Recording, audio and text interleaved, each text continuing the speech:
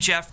Hi, I'm Watch Team. We're excited that we're going to be bringing Uprising Brawl from last year who did chance to play the Uprising Brawl. Two different modes. Mode we call where you get play as cast or hero, Trace, Heart, or Bjorn, and play basically first overmission. Streets of King's Row, uh, info on to kill its denizens and and say. Also play at any hero mode of using. You know, commit your mobile monster, Omni, attack, Risa, and Zenyatta, your brother. You can play too. It's Really fun about E for us.